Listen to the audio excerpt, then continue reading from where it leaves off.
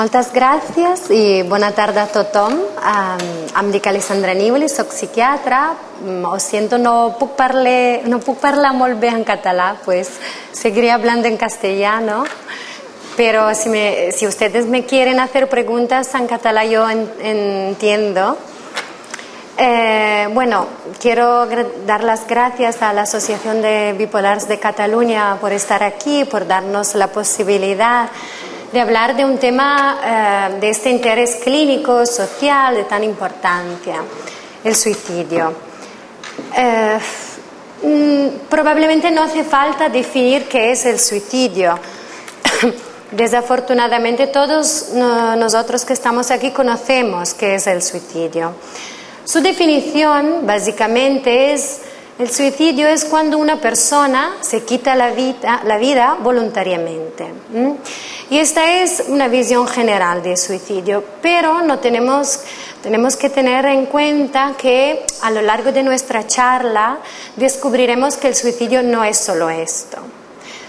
Primero, porque hay eh, la gente, la mayoría de las veces, la gente que intenta un suicidio no siempre se quiere quitar la vida de verdad. Iremos descubriendo las motivaciones y los varios significados de este acto. Y segundo, porque el suicidio así, como lo vemos o como lo ve la gente en general, no es la única manera que pueden utilizar las personas para quitarse la vida, para hacerse daño. Y esto es el segundo concepto importante que os quiero comunicar hoy. Bueno, primera, primer elemento, el suicidio existe, es un fenómeno importante, es frecuente o es raro. Bueno, desafortunadamente sabemos que el suicidio es un fenómeno frecuente en la población general. Hablamos de población general, ¿vale? Mi primera parte de la charla se focalizará un poco sobre la población general, porque el suicidio es un fenómeno que pertenece a todo el mundo, a todas las personas, no solo a las personas que padecen trastornos psiquiátricos, ¿vale? Pues eh, la, Organización Mundial de la Salud, en su informe de 2009, nos dice que sí, que el suicidio es un fenómeno frecuente, es importante. El suicidio mm, y las conductas que están relacionadas con el suicidio eh, son una de las eh, causas más frecuentes ¿no? de, de de- de consultas psiquiátricas a urgencias también. Y en sus informes del 2009 han visto que en, dos- en el año 2000 se han registrado casi un millón de suicidios consumados ¿vale? en un año. Esto lo que supone aproximadamente que una persona cada ca- 40 segundos muere por suicidio en el mundo. ¿Mm?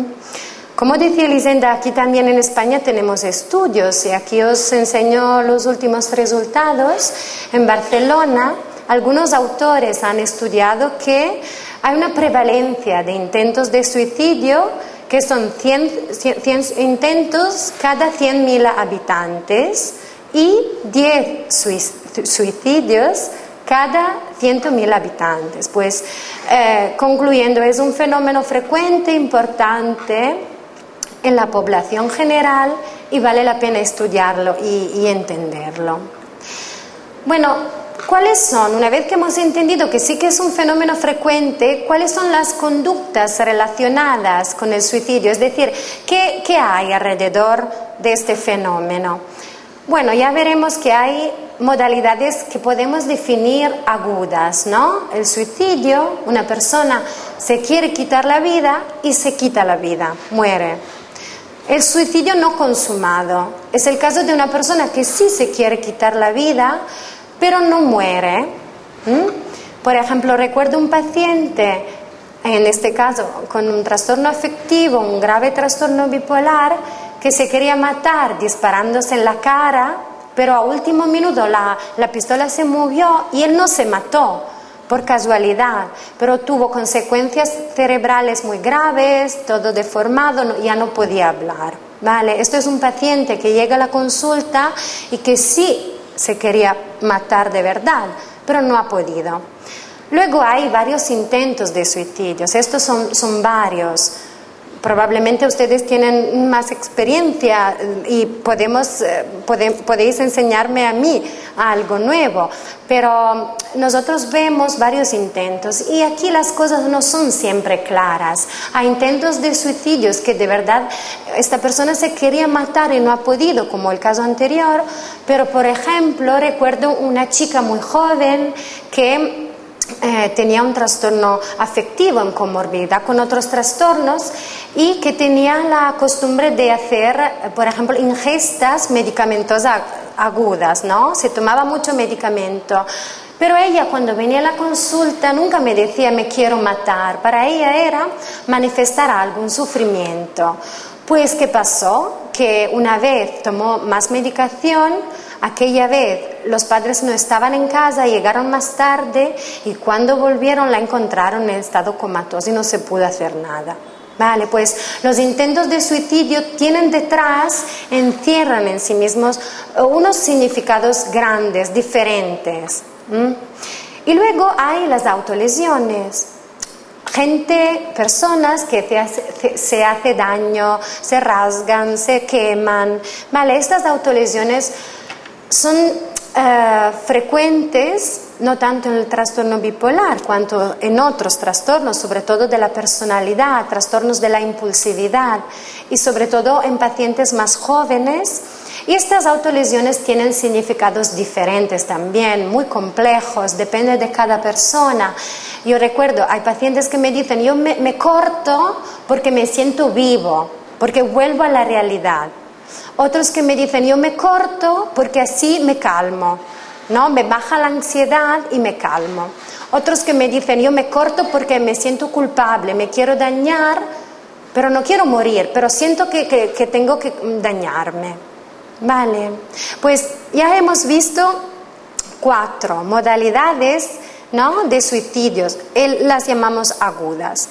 El problema no es tanto en la modalidad, ¿no? Pero cuanto en el significado. Todos sabemos que detrás del suicidio, de las conductas relacionadas con el suicidio, hay muchas cosas, muchos significados, pero seguro, seguro y siempre hay un gran sufrimiento por parte del paciente y de la persona.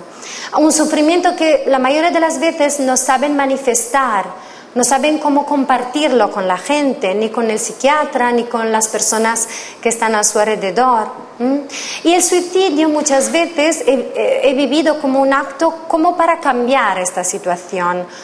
A veces como para manifestar este, este malestar tan profundo que en aquel momento los pacientes o las personas no saben cómo, no tienen alternativas de conductas, ¿vale? Y os he querido enseñar este cuadro que me parece una metáfora muy bonita, es un cuadro de Van Gogh, ¿no? que parece un cuadro amarillo con el sol y si lo miramos así parece un cuadro que quiere expresar alegría, colores, pero si vamos en el fondo a analizar este cuadro, ya os digo que este cuadro fue pintado cuando Van Gogh ya estaba muy mal, tenía casi un episodio mixto. Sabéis que él fue diagnosticado antes como epiléptico, luego como trastorno bipolar, luego como psicosis, nunca se, supo, se supo. Y él en este momento ya estaba en el hospital, ya estaba ingresado, ¿no? Algunos meses después se matará Van Gogh. Y este cuadro él lo interpreta como sigue. Él escribe a un amigo suyo desde el hospital y le dice, mira, he querido enseñar aquí este señor que corta el trigo como si fuera la muerte. La muerte que trabaja como un demonio para hacer su trabajo, o sea, para cortar el trigo. El trigo es la humanidad. Pues él, en este cuadro que parece tan bonito, ¿no? Quiere representar la muerte, que mata toda, todas las personas. Y si veis allí la pared gris, ¿no? Él con la pared gris quería un poco eh, era un poco el símbolo de los límites de su vida, que había llegado a unos límites que no hubiera podido superar. ¿Vale? Se sentía al final de su vida. Pues esto es un poco una metáfora. Cuando estamos delante de una persona que nos dice o nos comunica de alguna manera, me quiero matar, no tenemos que pensar que su deseo de matarse, de quitarse la vida, sea lo que pensamos nosotros, ¿vale? Tenemos que escuchar, tenemos que entender lo que nos quiere decir. Y esta es la primera manera, la única manera para poder empatizar y ayudar las personas que no ven alternativas. ¿Vale? Pues vamos a ver otro, mm, otro aspecto del suicidio, las conductas que los autores un poco llaman crónica. Eh, hemos visto las agudas, ¿no? que son muy claras, pero hay otras que parecen menos claras, pero ¿qué piensan ustedes respecto a una persona que, por ejemplo, toma riesgos cada día de su vida, hace deportes extremos, conduce muy fuerte el coche de manera arriesgada, o toma muchas sustancias, drogas, hasta sentirse mal, toma mucho alcohol? fuma muchos cigarrillos diarios y luego cosas con matices que, casi no se entienden. Por ejemplo, una persona que no cuida su salud, que tiene una enfermedad, también una hipertensión y no va a hacer controles al médico, no toma la medicación. O también una, una persona que padece un trastorno psiquiátrico, que no toma su medicación, que no va a hacer controles. Y bajando ancora, eh, por ejemplo, descuidar la salud, comer mal, beber mal, no dormir. Pues esto os puede parecer un poco forzar la situación, pero ya veremos que hay estudios, leía justamente ayer un estudio recién que han hecho sobre los accidentes de coches que son mucho más frecuentes en personas que padecen un trastorno bipolar y que han intentado el suicidio respecto a personas que tienen un trastorno bipolar, pero que no se quieren suicidar. ¿Vale? Eh, es, claro hasta aquí. Pues para resumir, hasta ahora hemos ido un poco más allá de lo que es el suicidio, como la gente en general fuera de aquí, los que no conocen este fenómeno piensa. Podemos partir de una baja calidad de vida, no cuidar el cuerpo, no cuidar la salud, no tomar la medicación, hasta subir el riesgo, hasta conductas de riesgo hasta autolesiones, intentos de suicidios y suicidios. Vale.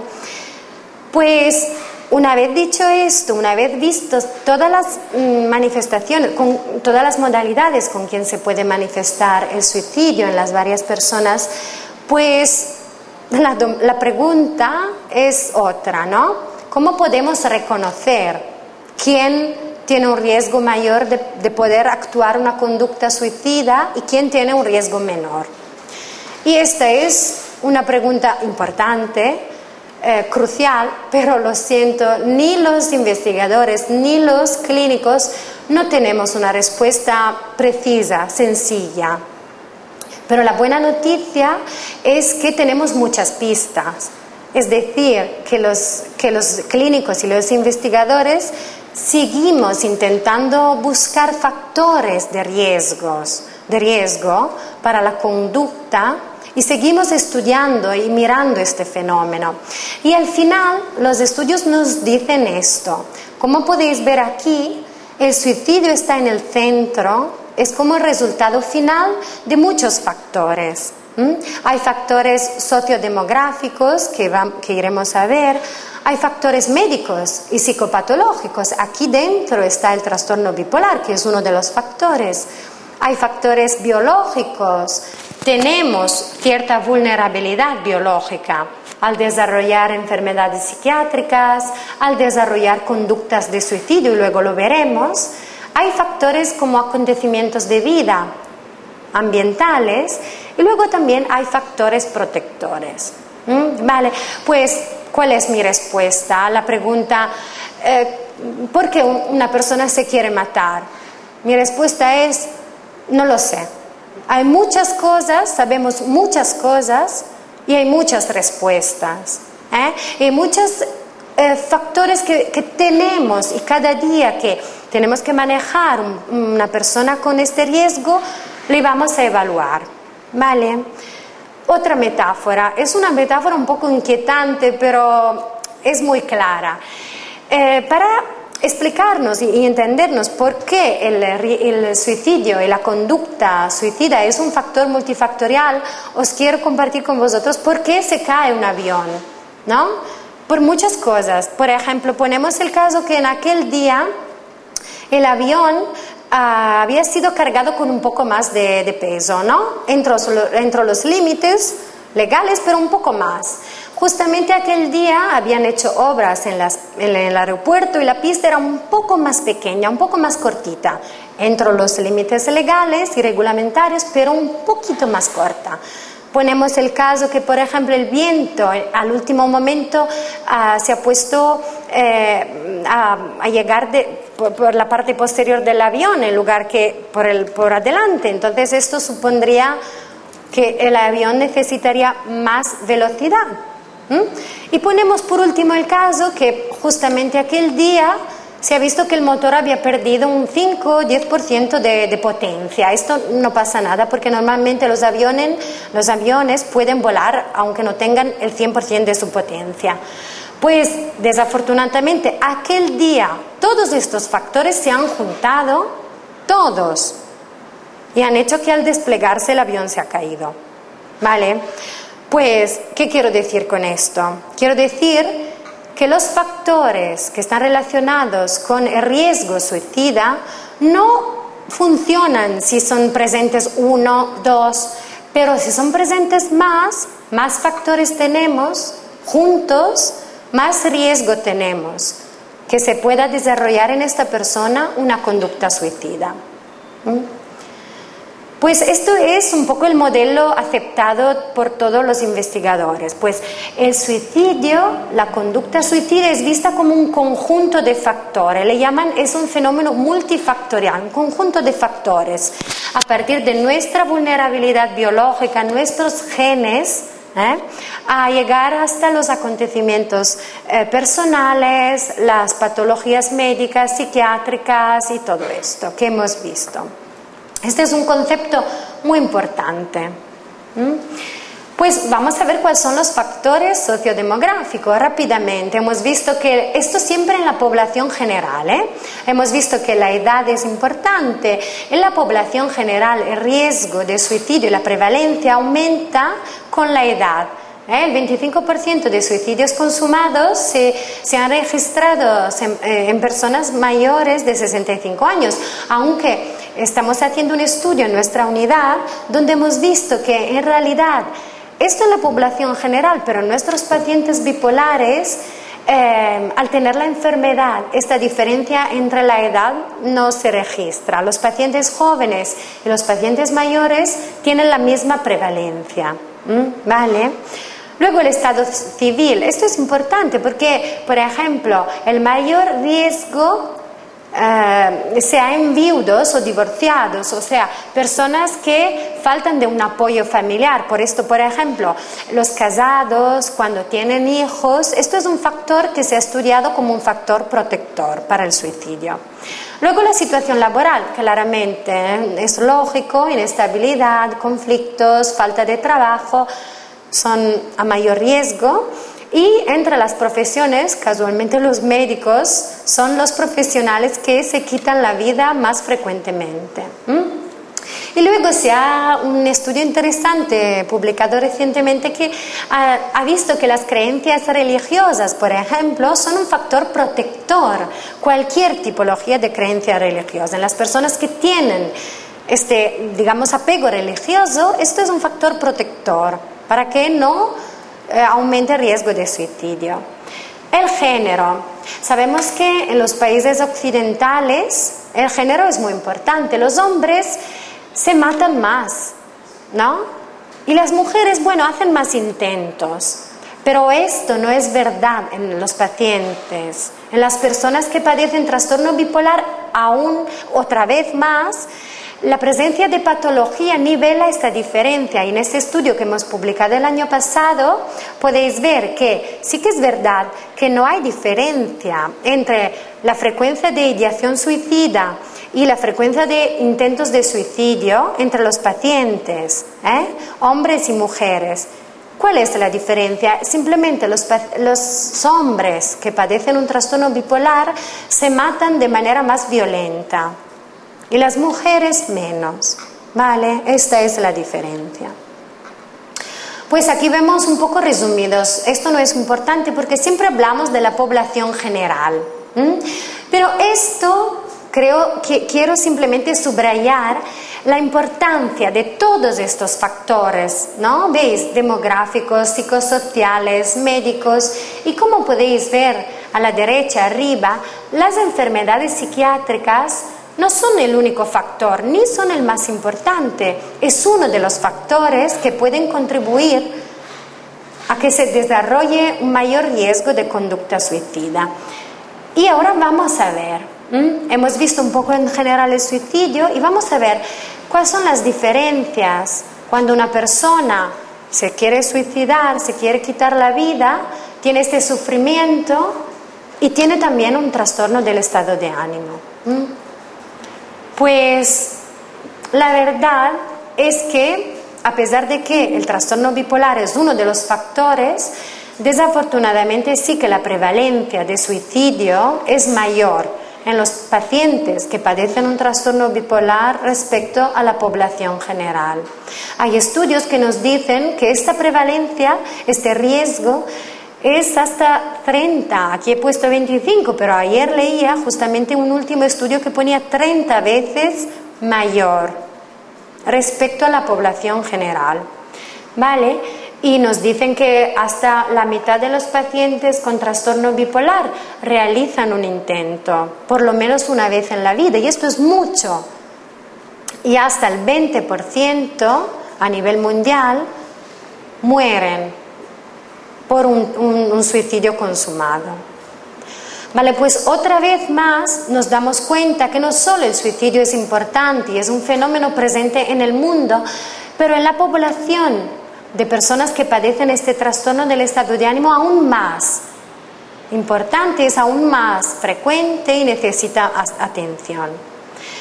Pues aquí, lo siento, para esta diapositiva es muy fea, pero he intentado con todos los estudios un poco resumir y compartir con vosotros algunas características. Es decir, volvemos un poco atrás, el suicidio es frecuente en todo el mundo, hay muchos factores. Tener un trastorno bipolar es uno de los factores, pero no es bastante.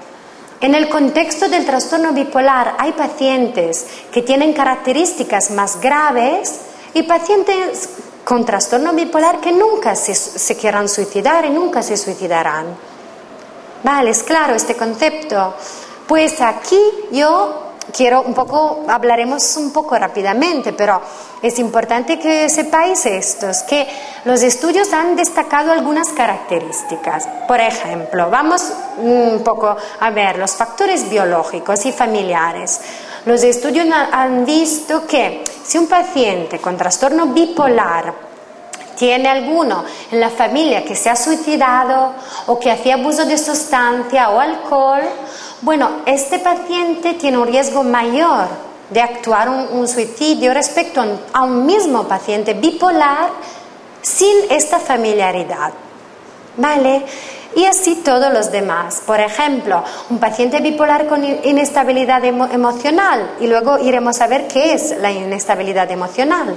Un paciente con una cierta genética, o sea, cierta vulnerabilidad biológica para una mayor gravedad de la enfermedad. Luego vamos a ver los factores psicopatológicos. No todas las personas que padecen un trastorno afectivo tienen un riesgo elevado, pero estos que las personas que han empezado la enfermedad no muy pronto, que eran muy jóvenes al primer episodio, estos sí. Las personas con mayor duración de enfermedad, con más episodios, más hospitalizaciones, estos sí que tienen un riesgo mayor. Luego han visto también que la gravedad de la depresión, todos sabéis que el, trastorno bipolar es un poco una, alternancia entre depresiones y episodios de euforia, de manía y episodios mixtos, que son los episodios más graves donde los síntomas depresivos y maníacos se juntan, ¿no? El paciente está triste, está deprimido, con pensamientos negativos, pero también está irritable, tiene mucha energía, está agitado, no duerme, ¿vale? Se juntan muchos síntomas de la depresión y de la manía y hacen que como si fuera un fuego que puede explotar. Vale, la manía disfórica, o sea, esto que yo estoy describiendo ahora, ser irritable, agresivo, Una ciclación rápida, o sea, pasar los pacientes que pasan de un episodio depresivo a un episodio maníaco sin un periodo de estar bien, de eutimia, estos tienen un riesgo aumentado. Agresividad, ideación suicida. Esto claro, si nos viene un paciente que dice, tengo la idea de matarme, esto claramente, lógicamente, se relaciona con un riesgo mayor respecto a un paciente que no tiene esta ideación. Déficits neuropsicológicos, pacientes que tienen dificultades en la memoria, en la concentración, en la atención, que muy a menudo no pueden trabajar bien.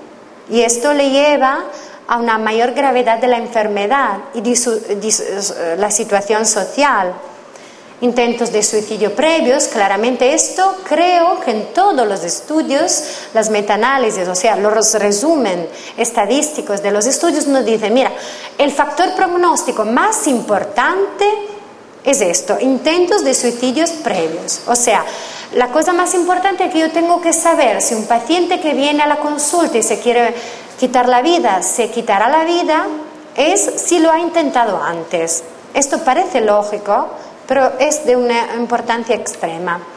Luego también dificultades en el sueño. Puede parecer un poco raro, así, sin importancia, pero el sueño es muy importante. Por esto que los psiquiatras somos un poco eh, machacones, se puede decir, sobre este tema, porque el sueño eh, es, algo muy importante en el, equilibrio general de nuestro organismo.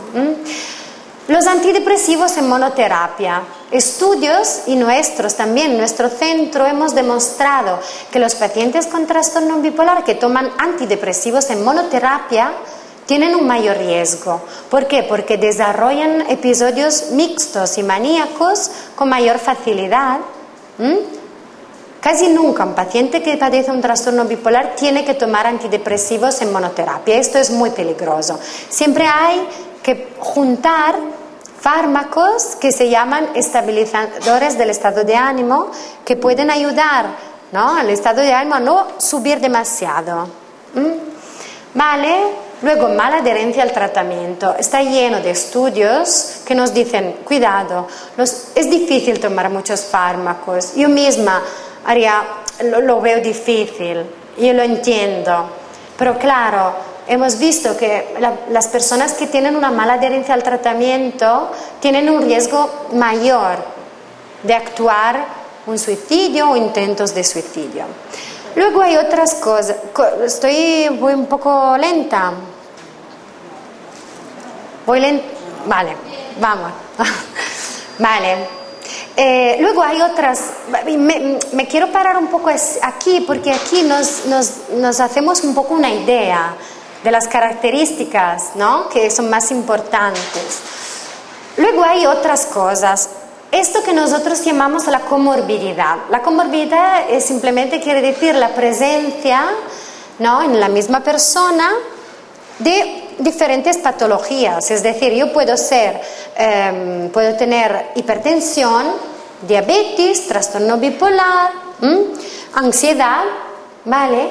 Esto es la comorbilidad. Pues cuando una persona presenta más patologías juntas, esto sí que aumenta el riesgo, sobre todo, sobre todo con eh, abuso de sustancias, alcohol.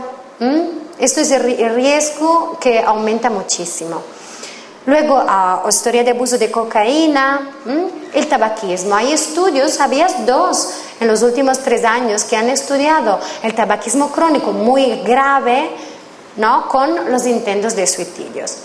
Y luego, claramente, también en las personas que padecen trastorno bipolar hay factores que vienen desde fuera.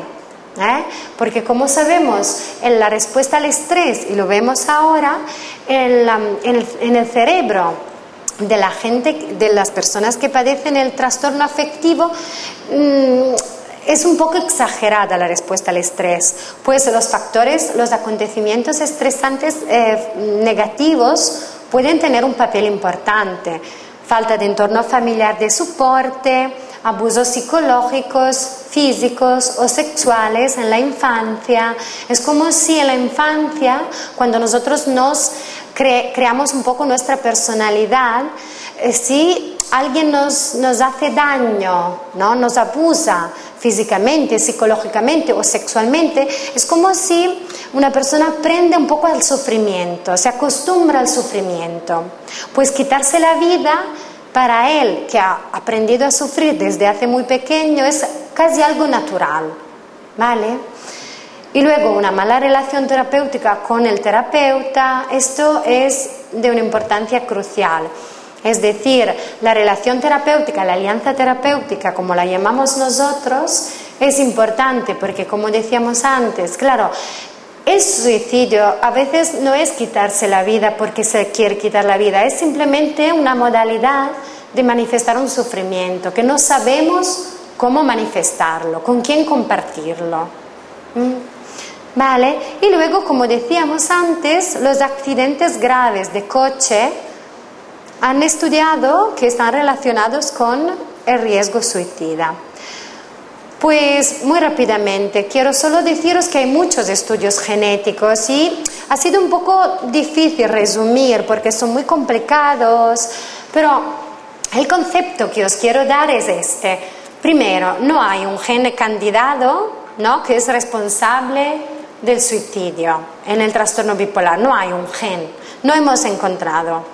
Hay muchos y los estudios en gemelos nos dicen, cuidado, hay una biología, hay un papel en la genética, ¿no? En el eh, trastorno bipolar, en el suicidio y se solapan, van juntos. ¿eh? Y para haceros un ejemplo, quiero reportar aquí la familia de Hemingway, que es uno de los poetas y escritores más importantes del siglo XX. Él tenía un trastorno bipolar, se suicidó, se mató. Su padre, aquí Clearance, como veis, era médico, tenía un trastorno bipolar, se suicidó. Sus hermanos, dos de sus hermanos, uno, una mujer y un hombre, no tenían trastornos bipolares, pero se suicidaron. Igual. Una hija suya, perdón, tenía un trastorno psicótico, eh, dos hijos suyos, perdón, tenía un trastorno psicótico, uno y el otro bipolar, no se suicidaron, fueron tratados, pero una nieta, desde el primer, eh, la primera boda, sí que se suicidó, ¿vale? Y tenían un trastorno bipolar pero tenía una depresión muy grave. Pues esto es una de las familias más eh, famosas, digamos, y nos explica un poco, a ver, cómo es la familiaridad, cómo se, eh, hay una mm, herencia en los genes que juegan un papel importante, aunque no es el único, ¿eh? aunque como veis había muchos hijos y nietos que no padecían un trastorno bipolar, que no se suicidaron y que vivían toda la vida tranquilamente. Vale. Pues hablando de alteraciones biológicas, os quiero enseñar, bueno, rápidamente uno de los eh, mm, elementos que más han estudiado últimamente, ¿eh?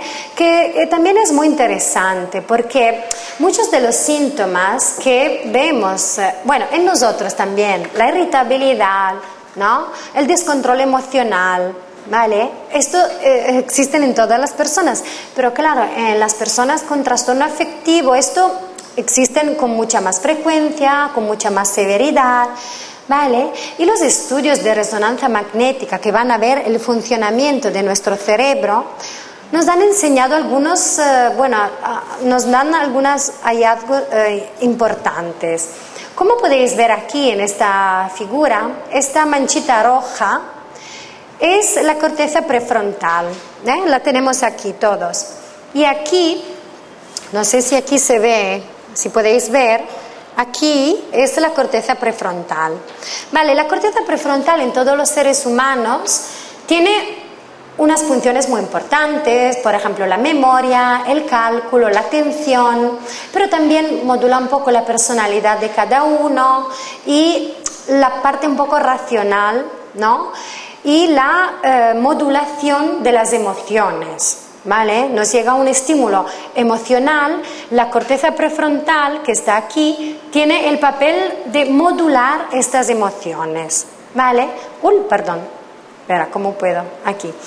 Bueno, luego tenemos otra área muy importante, la segunda que está aquí, no sé si se ve, sí, aquí es la amígdala. No sé si habéis oído hablar de esta. Es una formación que se parece a una pequeña almendra y está justo en el centro de nuestro cerebro. Y la amígdala, que es una de las eh, formaciones más primitivas de nuestro, de nuestro cerebro, tiene un poco la función más primitiva de reconocer las emociones. ¿Vale? Eh, se enciende, funciona cuando hay emociones primitivas, como por ejemplo la ira, el miedo, la ansiedad. ¿No? Cuando nos sentimos ansiosos, tenemos miedo, nos asustamos, ¿eh? queremos huir o queremos luchar, esta, aunque no lo sepamos, es nuestra amígdala que se enciende. ¿Vale? ¿Y qué pasa? En las personas que, bueno, mm, en la mayoría de las personas que no padecen un trastorno afectivo, ¿cómo funcionan estas dos formaciones? Pues la amígdala se enciende cuando yo tengo un estímulo emocional. Por ejemplo, estoy cruzando la calle, veo un coche que se me acerca con mucha rapidez y me asusto. ¿Por qué? Porque, oye, lo veo que me viene y me va a, ¿cómo se dice? Atropellar, atropellar, ¿vale? Pues en aquel momento mi amígdala se enciende, ¿no? Ve el estímulo visivo y el estímulo visivo llega al cerebro, llega a la amígdala, la amígdala funciona y dice, cuidado, hay un coche muy rápido que, está, que, que llega en tu dirección. ¿Y qué pasa? Que yo me preparo, ¿no? Con mi circulación, empiezo un poco a temblar, sudo, ¿eh? Y luego, ¿qué pasa? Que entra el papel de la, de la corteza prefrontal que dice a la amígdala, cuidado, no te preocupes amígdala, no te, no te agites demasiado, porque el coche se ha parado, no te va a pasar nada, ¿vale? Tranquila. ¿eh? Pues entonces yo veo que el coche se ha parado y me tranquilizo. Esto siempre.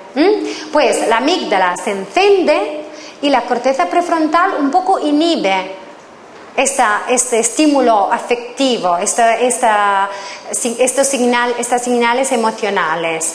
Y las dos juntas funcionan bien. Esto en los pacientes con, con, trastornos afectivos no pasa, no funcionan bien. ¿Qué pasa? Que hay dos problemas. Primero, la amígdala funciona de manera exagerada, es hiperactiva, se enciende demasiado. Tiene, a los estímulos negativos ¿no? Esta amígdala funciona demasiado, envía muchos estímulos a la corteza. Pues un estrés, o sea, un coche que, nos, que vemos desde lejos nos parecerá más rápido, más peligroso, ¿no? Nos pondrá más miedo, empezaremos a, a temblar, a sudar, ¿vale? Y el segundo problema es que la corteza prefrontal en las personas con trastorno bipolar no funciona bien. O sea, no es capaz de inhibir de manera adecuada este estímulo. Pues entienden ustedes que tenemos dos problemas. Uno, la amígdala responde demasiado a los estímulos negativos y la corteza prefrontal no es capaz de inhibir, de modular la reacción. ¿Vale? Pues aquí tenemos este esquema de los estudios que hay por una parte la amígdala, que es nuestra parte un poco emocional, ¿no? que funciona de manera exagerada, y por otra parte la hipofrontalidad, o sea, nuestra corteza prefrontal no funciona bien. Pues espero no haberos aburrido demasiado, pero esta es solo una explicación un poco biológica de lo que pasa siempre cuando hay un descontrol emocional. Y los estudios por eso que tenemos que dar fármacos también, porque los fármacos actúan en estas vías cerebrales, intentando reequilibrar un poco este descontrol emocional que tenemos. ¿Vale? Y esto es un poco el modelo que se utiliza para la, conducta de suicidio. Pues eh, yo que tengo este descontrol emocional, cuando tengo un estímulo externo muy negativo, eh, lo voy a vivir muy mal, porque mis emociones, son muy negativas. Mi amígdala funciona mucho y mi corteza prefrontal no es capaz de inhibir, de tranquilizar. ¿Vale? Por esto que los pacientes con trastornos afectivos a no modulan las emociones y cuando una persona no modula las emociones le da un significado más grave y puede tener conductas arriesgadas, conductas más negativas. Se pueden resolver. No todos, pero hemos dicho muchos. Vale, la última cosa clínica que os quiero, que quiero compartir con vosotros es esto. Pues yo tengo un trastorno bipolar, pero no siempre tendré el mismo riesgo de hacerme daño, porque sabemos que el trastorno bipolar cambia en el tiempo.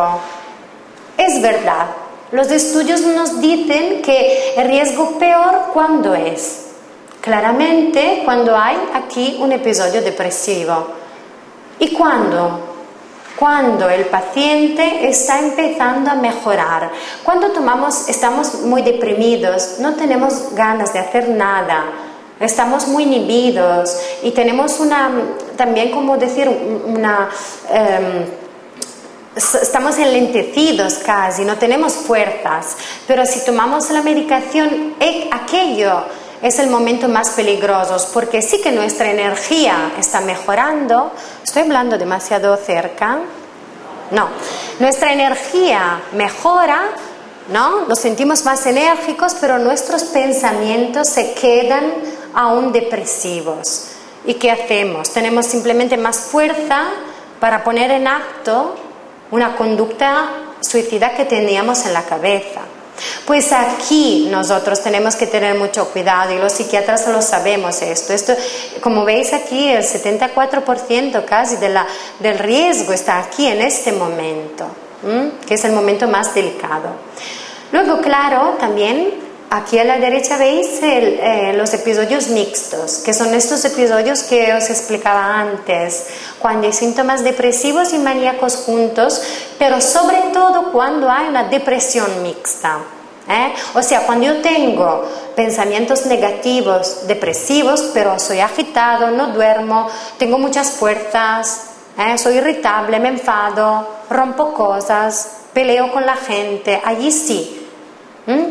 Y luego, claro, eh, el estado mixto, un poco maníaco también, pero sobre todo, ¿por qué? Porque cuando eh, hay un, un, episodio maníaco, las personas toman más riesgos, ¿no? Un poco es como pensar de ser inmortales y claro, muchas veces el suicidio es un poco casual, ¿vale? No es querido. Y también importante aquí los síntomas subclínicos depresivos. Vale, cuando hay síntomas subclínicos depresivos, que esta depresión que no se acaba de entender, que sí que responde bien a los medicamentos, pero no mucho y duran mucho en el tiempo, vale, esto también son, son peligrosos. Vale, pues hasta ahora espero que todo sea bastante claro, espero haberos dado bastante elementos para decir, pues no voy a deciros nunca, ni yo, ni cualquier otro psiquiatra, ni nadie, ni la persona misma, si se va a suicidar o no, si se va a quitar la vida o no. Pero sí que tenemos muchos, muchos elementos, tenemos muchas herramientas y no tenemos que olvidarnos de valorar esto. Vale, pero una vez que hemos entendido un poco cómo es el suicidio en la población general, el significado que tiene, eh, cómo es en las personas que tienen trastorno bipolar, que hemos visto es un poco diferente, tiene unas particularidades, pero ¿qué podemos hacer? ¿No? La otra pregunta es esta, ¿qué tenemos que valorar? Pues os diré lo que valoramos nosotros, los psiquiatras, los terapeutas, pero esto también os sirve a los familiares, a los pacientes mismos, a todos. Nosotros en general, cuando vemos una persona que, sea, que ha intentado el suicidio, valoramos primero la peligrosidad del método, ¿no? Claro, si es violento, o sea, eh, tirarse por la ventana, ahorca, ahorcamientos, ¿cómo, se dice? Ahorcarse o utilizar armas de fuego, cuchillos. Estos son métodos violentos, ¿vale? Y, es normal que si una persona utiliza un método tan violento, el sufrimiento es tan grande que tenemos que pensar que la gravedad de este intento es mayor que una persona que hace una ingesta medicamentosa aguda y no expresa exactamente la, voluntad de, matarse. ¿Vale? Pues esto ya nos ayuda a ver la eh, peligrosidad del método. Luego la conciencia de la efectividad, es decir, vamos a preguntar al paciente si es consciente, por ejemplo, que estas medicaciones le hubieran llevado al hospital o no. Porque, por ejemplo, hay pacientes que igual se toman unas 20 pastillas y no saben que estas pastillas sí que les pueden matar y otros no. Pues si yo veo un paciente, una persona que sabe con mucha claridad ¿no? el riesgo de, estas, de esta medicación, tengo, eh, esto quiere decir que hay una mayor gravedad de querer matarse. Luego la planificación. Claro, es diferente si hay un, acto un poco impulsivo, ¿no? O si hay una persona que deja carta de despedidas, que se despide de los amigos, que hace seguros de vida, que hace testamento, ¿vale? Si yo veo un paciente con estas características, tengo mucho más cuidado porque me doy cuenta que es mucho más grave su voluntad. Luego la accesibilidad, ¿no? O, sea, a ver si el paciente durante el intento ha tomado un poco maniobras para, ha puesto en, acto maniobras para evitar el rescate, se ha cerrado en la habitación, ha esperado que no había nadie en, la, en, casa, o si lo ha hecho con los padres cerca o con alguien cerca. ¿No? Tienen dos significados un poco diferentes. A la base está un gran sufrimiento, pero esto lo tenemos que valorar, porque cuando no quiero ser rescatado, puede ser que me quiera quitar de verdad la vida. Cuando quiero ser rescatado, puede ser que quiera manifestar un sufrimiento y ya está. ¿Vale? Luego, claro, la finalidad, si hay ganancias secundarias. A veces sí que es verdad que eh, hay cierta manipulación en los intentos, sobre todo en los jóvenes. ¿eh? ¿Por qué? Porque no saben manifestar bien y hay cierta manipulación, no con mala intención, pero justamente porque no saben cómo, cómo manifestar esta, esta tristeza. Y luego tengo que valorar también si un paciente eh, que ha querido matarse viene a la consulta y no se ha matado y me dice, mira, ¿sabes qué? Menos mal, estoy mejor. O me manifiesta una frustración para, por el fracaso de no haberse podido quitar finalmente la vida. ¿Vale? Pues estas cosas las tenemos que valorar nosotros los médicos, pero también ¿eh? sirve para todas las personas que están alrededor de... Y, para nosotros, para valorarnos nosotros. Pues quiero concluir un poco. Esta, faltan tres, ¿eh? Estamos un poco en retraso. Me preocupo. Vale. No, estas tres diapos faltan. Pues estas son recomendaciones especiales. Esto es un poco la Biblia de lo que tendrían que saber los psiquiatras, los psicólogos, los médicos, los familiares, los pacientes, todos. ¿Vale? Los medias también y quiero compartirlas con vosotros porque creo que son muy importantes. Primero, toda amenaza de suicidio debe tomarse en serio. Hay la creencia errónea y falsa que quien quiere suicidarse no lo dirá, no lo va a decir. Esto no es verdad. Sabemos que cerca del 80% de los pacientes que se, que se quitan la vida lo comunican de alguna manera, directa o indirecta, a la gente a su alrededor, a los familiares, a los amigos, a las parejas. Y el 70% visitan a su médico en las semanas previas. ¿Vale? Pues esto es importante. Preguntar acerca de la ideación suicida no es potenciar la misma. Esto es crucial. ¿Vale? Antes también muchos psiquiatras pensaban esto y esto es uno de los fallos más grandes no existen pacientes que no se quieren suicidar y si tú le dices, ¿te, quieres hacer daño? Ellos, ah, mira, ¿sabes qué? Me has dado una idea, me voy a, quitar la vida. No, no existen. Y en cambio, los pacientes que de verdad se quieren quitar la vida sienten alivio cuando una persona le pregunta esto. quiere hablar de sus sufrimientos, de sus miedos, de sus angustias. ¿Eh? Porque hemos visto que eh, es difícil hablar de, matarse la vida. ¿Vale? Luego, la intervención no tiene como finalidad convencer al paciente, es súper equivocado. No puedo hablar con un paciente, una persona que se quiere suicidar y decirle, mira, ¿sabes qué? No lo, no, lo tienes que hacer por esto, por esto, por esto, tienes que manejar esto, tienes que ir adelante. No, porque yo me cierro y no te escucho. Si me quiero suicidar y me quieres convencer, yo me cierro, no te escucho. Lo que podemos hacer y lo que tenemos que hacer es callarnos escuchar al paciente, compartir este sufrimiento, entender qué es lo que hay detrás de este deseo, cuáles son los acontecimientos vitales que igual podemos solucionar, cuáles son sus, sus pensamientos, sus creencias. ¿Vale? Y esta es la única manera para que una persona nos abra las puertas. Luego, el psiquiatra y los familiares pueden ayudar.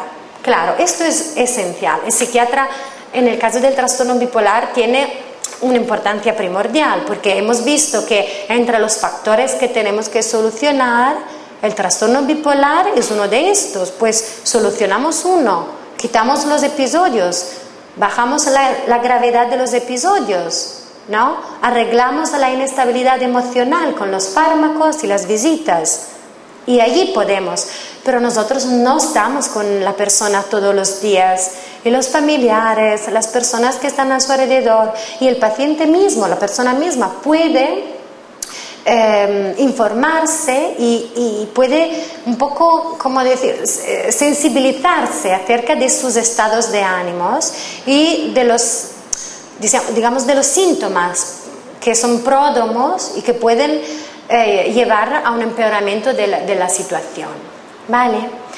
Y luego reconocer esto último, pero súper importante, y esto un poco da, vergüenza hablar de esto, pero existe y tenemos que hablar. Reconocer los sentimientos que la conducta suicida despierta en los demás. Es decir, mm, hablo como psiquiatra, ¿no? Imagino que también los familiares de las personas que se quieren matar, los padres, las parejas, los hijos, cuando tenemos a alguien muy cerca que se quiere matar, tenemos sentimientos ambivalentes. Por una parte estamos eh, preocupados, ansiosos, aterrorizados, ¿no? Intentamos empatizar, pero por otra es duro. Por otra nos despiertan sentimientos de agresividad, de hostilidad. Pues te quieres matar, estoy aquí todos los días, no me, no me haces caso, pues mátate. ¿Vale? Y esto lo digo con sinceridad. Y esto es muy importante reconocerlo, porque solo si lo reconoces, lo puedes aguantar. Porque también con el paciente que puede actuar el suicidio de manera más manipuladora del mundo, lo que tienes que recordarte, que tú seas un psiquiatra o que tú seas un familiar, es que hay un sufrimiento tan grande y una incapacidad para manifestar este sufrimiento que a pesar de los sentimientos de miedo y de hostilidad que puede despertar en los demás, siempre tienes que recordarte que la persona que, que, se quiere quitar la vida está sufriendo y necesita tu ayuda. ¿Mm? Vale. Pues la prevención, hablábamos antes con Elisenda, ella ha hablado muy bien de esto, la prevención es lo que estamos haciendo ahora, informar. ¿Qué es el suicidio? ¿Cómo se manifiesta? ¿Cuál es el significado? ¿Cuáles son las modalidades? ¿Eh? ¿Cómo se trata? ¿Vale? Aquí yo he resumido solo cuatro puntos de las guías internacionales que he visto sobre el suicidio. Estos son un poco los puntos que los, los autores han desarrollado en las últimas en los últimos encuentros, ¿vale? Pero nosotros ahora en este momento estamos haciendo prevención, ¿vale? El suicidio se puede prevenir porque si lo conocemos, y si aceptamos todos sus, todas sus manifestaciones, lo vamos a conocer y lo vamos a prevenir. Vale, pues en conclusión, em, espero haber, bueno, sido clara cualquier pregunta, pero primero, el suicidio es un fenómeno presente y importante, es multifactorial, no hay una causa sola, hay muchas, y suerte la estudiamos, la conocemos, ¿vale? Y la manejamos en la, en la clínica, en la vida diaria. La, la, enfermedad psiquiátrica es uno de los factores y por eso que hay que tener mucho cuidado en la enfermedad, solucionar un factor, pero no olvidarnos que aunque podemos tratar el, el trastorno bipolar, no quitamos todos los factores que pueden ayudar a aumentar el riesgo suicida. Pues no solo el psiquiatra tiene su papel para prevenir el suicidio tratando la enfermedad, pero todos tenemos el papel para prevenir el suicidio. Bueno, a la base del suicidio hay un gran sufrimiento, esto lo tenemos que recordar siempre, aunque cuando nos despierte sentimientos de impotencia ¿eh? y el riesgo de suicidio se puede disminuir, y claro, tratar la enfermedad nosotros y escuchar eh, las personas que quieren quitarse la vida, los familiares, y hablar de este sufrimiento, los pacientes, estas son las modalidades con las cuales podemos prevenir este fenómeno. Bueno, yo os agradezco mucho la atención y he terminado.